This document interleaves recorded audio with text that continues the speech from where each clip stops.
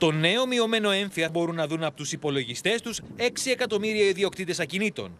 Αρκετές χιλιάδες είναι οι ιδιοκτήτες που θα λάβουν και φέτος είτε μερική είτε ολική απαλλαγή από το χαράτσι για την ακίνητη περιουσία. Πρέπει το συνολικό εισόδημά του να μην υπερβαίνει τις 9.000 ευρώ για άγαμο ε, προσαψημένο κατά 1.000 ευρώ για τη σύζυγο και κάθε εξαρτώμενο μέλος. Η συνολική επιφάνεια των κτισμάτων που έχει ε, δικαίωμα να μην υπερβαίνει τα 150 τετραγωνικά, καθώς και η αξία των κτισμάτων να μην υπερβαίνει τις 200.000 ευρώ για έγαμο με δύο εξαρτώμενα μέλη. Διαφορά είναι, διαφορά.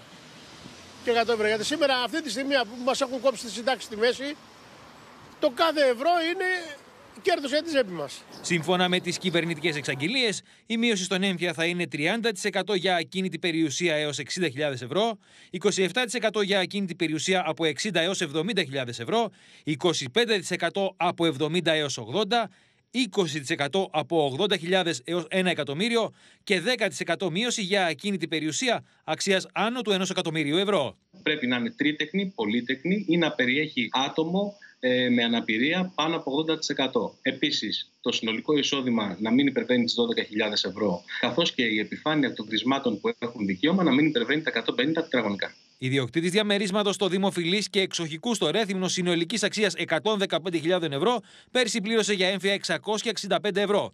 Φέτος θα πληρώσει 532 χάρη στη μείωση 20% που έχει προβλεφθεί, δηλαδή 133 ευρώ λιγότερα. Σύμφωνα με υπολογισμούς, από την καταβολή έμφυα αναμένεται να μπουν στα κρατικά ταμεία περισσότερα από 2,5 δισεκατομμύρια ευρώ.